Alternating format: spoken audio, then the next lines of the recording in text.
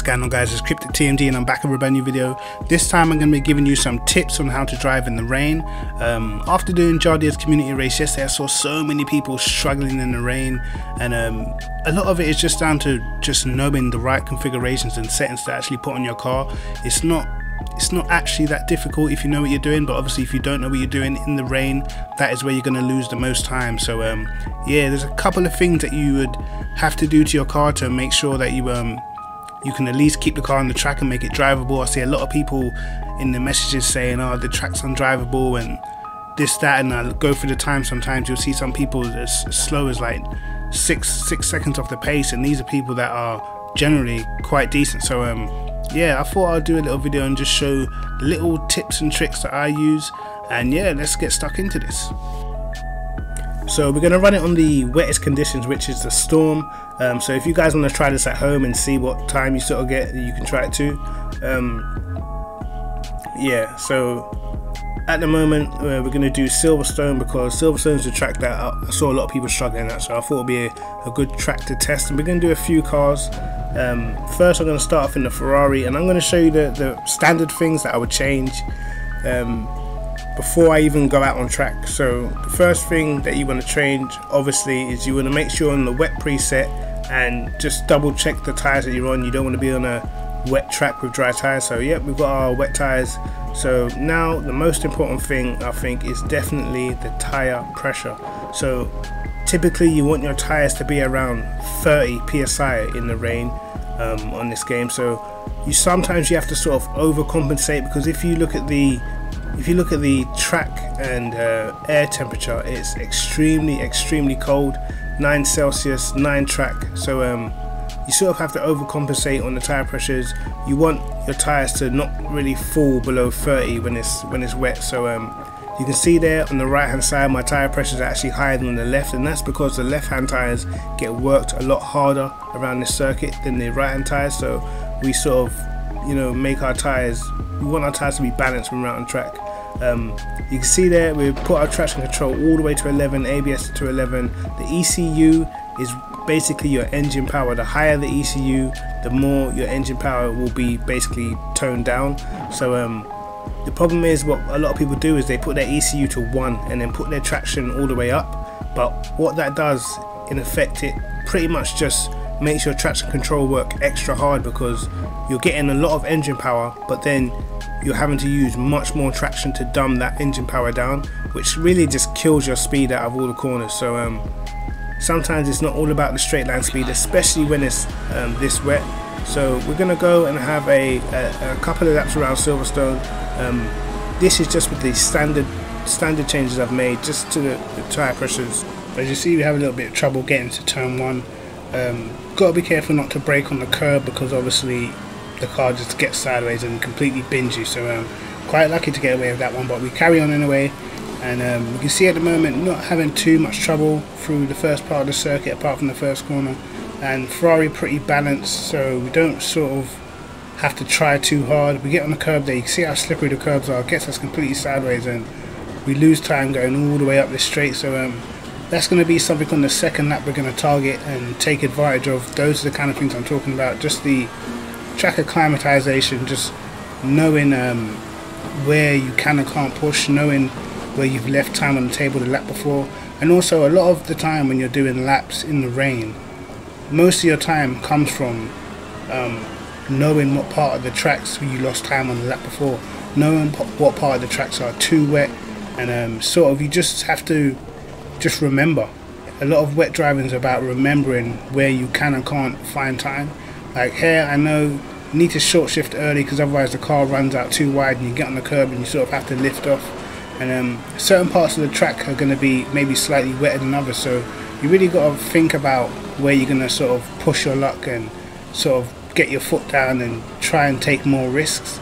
And that's where a lot of the time comes from. Um, people that just sort of drive every lap and you know they don't try and take advantage of what they've learned from the lap before then you end up not actually gaining too much time so um, you really got to sort of sort of keep your head in the game it's, it's much more much more uh, a thoughtful process than when you're driving the dry and when you're driving the dry you just you have your sort of braking references you push and sort of the same braking references you just use lap after lap. But in, in the wet, it's all about learning where you can and can't push, what corners you can brake later into, what corners you can get on the throttle sooner, and maybe what corners are a little bit too wet and you need to take more care through. So, um, yeah, as I said, just something that you sort of have to learn. But um, I feel like on this game they do quite a good job of um, making the, making you feel like you're driving in the wet, making you feel like you actually do have to tiptoe. In other games, I found that a lot of time you're driving in the wet is pretty much the same as just driving in the dry. And when I drive on project cars in the wet, I sort of just, as long as I miss a puddle, I'm not really worried about binning it. I'm still getting the throttle earlier. I don't even use traction control. So um, yeah, in this game it's completely different. You literally have to use traction control. You will not get around the track without it. So um, you can see already just by knowing um, what corners to take quicker, how, how far we are up already, and that little mistake we made through this section on the last lap, you can see how much we're up already. So um, almost a second up already, we actually hit the grass there, which slows us down a bit going down the straight. But yeah, you can see how much time we gained just from sort of knowing um, where we can put our car, knowing how, how hard we can push our car, and that's what I'm talking about. Remembering um, the steps and the parts of the track that you that you made mistakes on or that you didn't push 100% through on the lap before. So you can see now 8 temps up. Um, just trying to make sure we we keep a decent line for this section. We actually ran a little bit wide on the entry but we still managed to sort of straighten the car up and get out of this corner a little bit better than we did before. Um, and a lot of it as well is you, you want to sort of accelerate when the car is straight. If you accelerate while the car is turning then you're just going to get sort of yeah. Just a load of traction. So remember that always try to accelerate when the car's straight. But um yeah you can see now um amount of time we're gaining we're just easily easily just pushing and it's, it's not even a problem. You can see how, how far we are up on the time we did before. About a second and a half up at the moment um obviously now just trying to have a clean end to the lap. And we know going into the sort of the penultimate corner we could brake a little bit later than we did on the lap before um, because I felt on the lap before we still had a little bit um, little bit of space where we could have sort of broke a little bit later. But now you see we brake later um, managed to get the car turned in on the way in down to first gear and we can keep a tight line and um, yeah definitely worked out. You see us gaining time all the way around and yeah that's just what um, like track acclimatization just getting used to the track that's what you can do. Um, same setup and we just completely blitz the lap we did before so um, yeah now we know where all the grip is on the track and now we know where it is slippery so we're able to make quite a decent improvement. So now we're going to see what changes I make to sort of actually find time if I want to improve the car to actually go quicker and not just have sort of the standard settings um, with just sort of tire pressures change. So normally what I like to do is I like to actually um, put the caster angle up. I like I want the car I want the wheel to be a lot heavier in the rain because I want to feel every sort of movement. Uh, it feels like it gives me more control especially when the, the track's so slippery. Also I like to go down on the rear um, camber. Um, I don't want the uh, I, I, want I want it to be more of the, the surface of the tire on the track. Um, I'm going to go down a little bit on the ECU which is going to give us a little bit more um, power but we don't want to sort of you know we don't want to sort of make the the traction control cutting too much but I feel like the car is still comfortable enough to be running slightly less power. Sorry slightly more power. So um, that's going to give us free time down the straights as long as the um, as long as the traction control doesn't cut in too much. So we're actually going to put it down to three in fact. So as I said, hopefully that's going to give us some free time down the straights. Um, again, we're going to move on to the mechanical, and I always sort of put the steering ratio down. I like my car to be extremely pointy when it's wet, um, and I, I, balance it out with putting sort of more rear downforce on. But I like the front of the car to be pointy to just point where I want it to go, and still by having sort of more downforce on the rear, I um I balance it out. I also soften the car quite a bit. Well, the Ferrari um default wet setup is quite soft anyway, um, which is probably why a lot of people find it so quick out of the box in the rain. Um, sort of soft, softening up the car, you're going to give yourself more mechanical grip. So I always make sure the car's soft. Um, going to the aero, you saw how sort of what I did with the steering ratio. So there's me putting the wing to max and the tyres were so cold that we're going to use the, the brake ducts to sort of close them up and, and make the brake disc actually warm the tyres up a little bit. So those are sort of the changes I'll make and let's see if it helps us improve our lap time.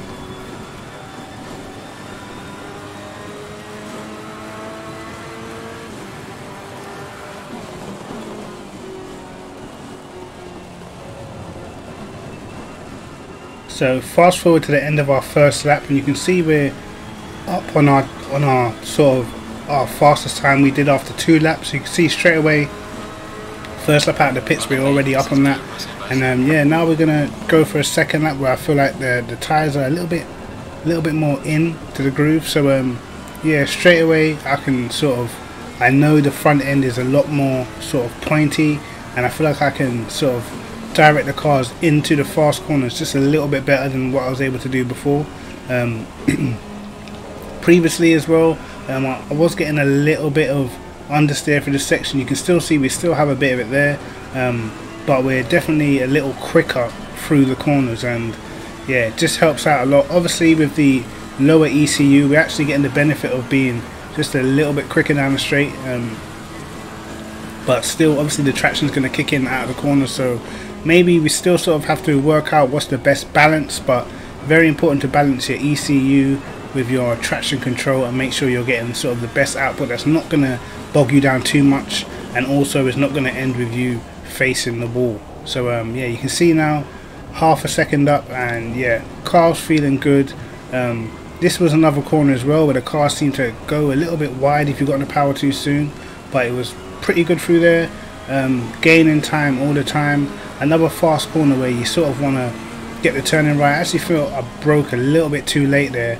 um, but we still managed to just make the corner and still gaining time for that corner, even though I definitely went a little wide. Um, and yeah, there's there's always time to find. These are sort of the changes I make to actually make a car fast in the rain, as opposed to make a car drivable in the rain.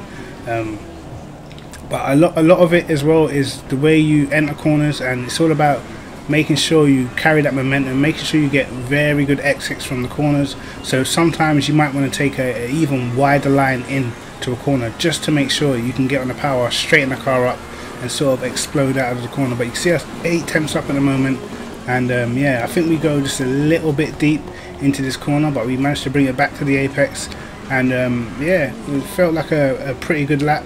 Um, you can see how much time we're gaining and here we get on the power just a little bit too soon. We get on the curb and we just get a little bit of a slide on onto the curb and it cost us quite a bit coming out that last corner. Um, but yeah, we still managed to go across the line and do a 26-0.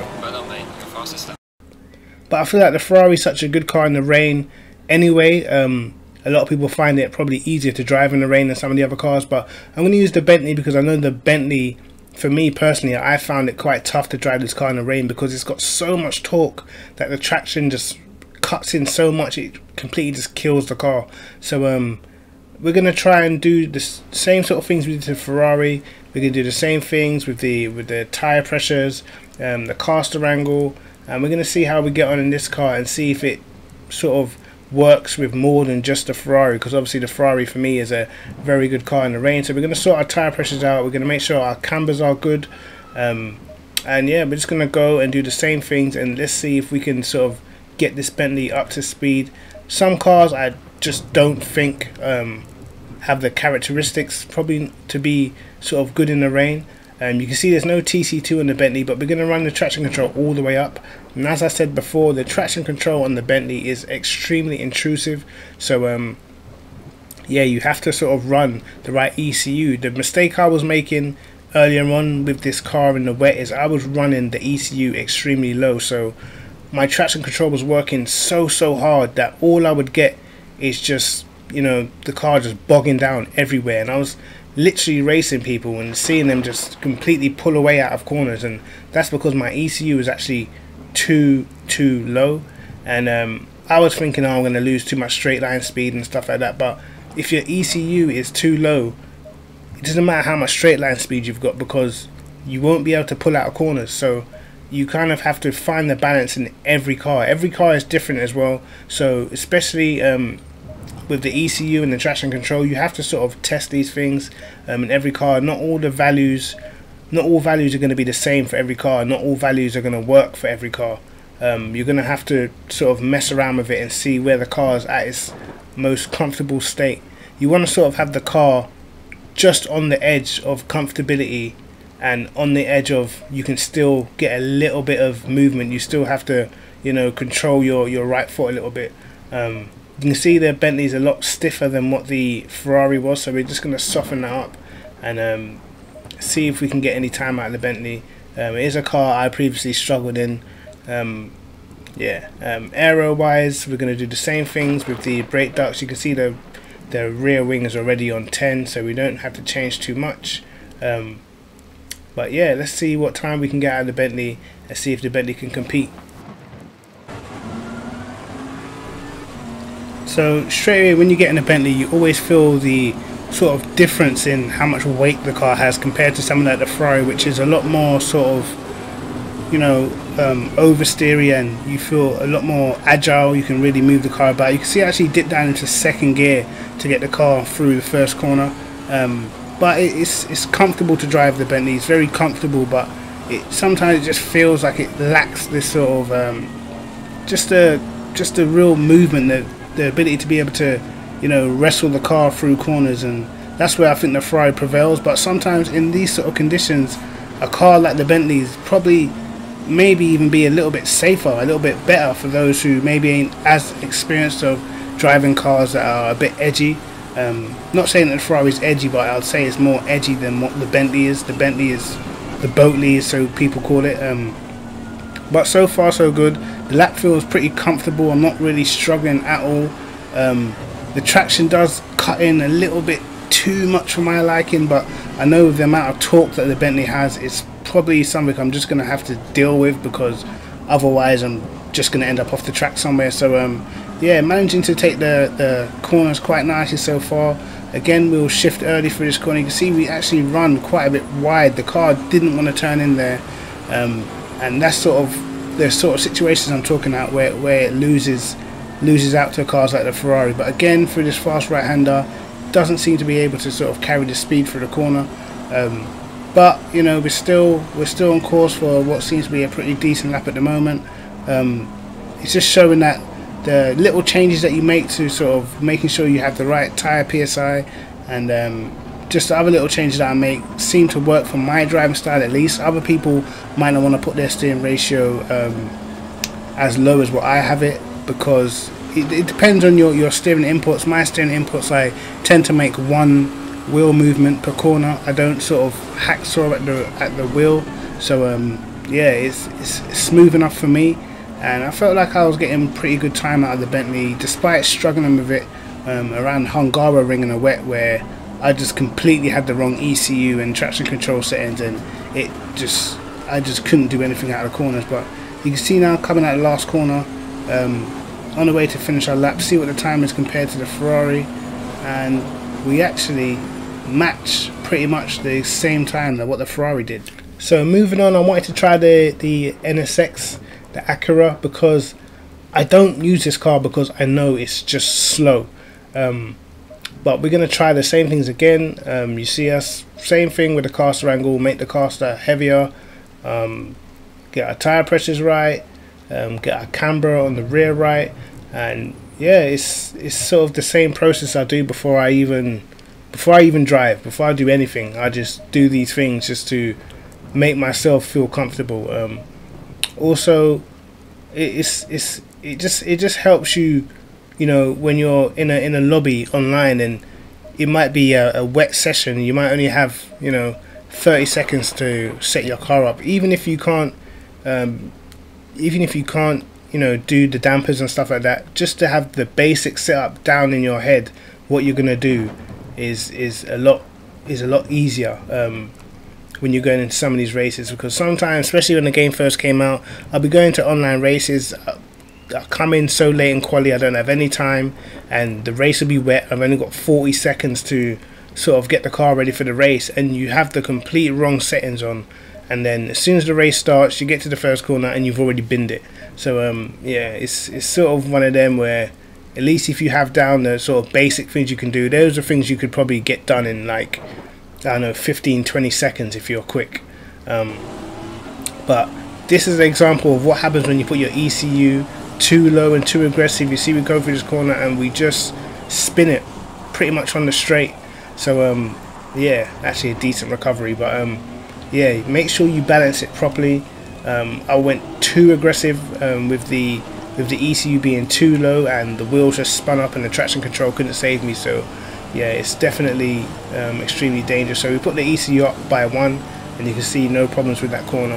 Um, and yeah, I can tell you that Acura felt extremely quick around here because in in the dry the car doesn't have a lot of power anyway. So I find that so far out of the cars I've driven, for the wet, this car has got one of the best ECU and electronics. Um, the way how they integrate together means that the ride's a lot smoother. The traction doesn't really hinder you that much, so you really feel like you're going a lot quicker through the corners, and it felt quicker for me as well. You feel like you're going quicker down the straight. Now, in the dry, this car's pants, it can't compete, but um, in the wet, it's got a nice balance, and it um, it, it doesn't it doesn't feel oversteery, but it doesn't feel like crazily understeery. It just it feels extremely safe.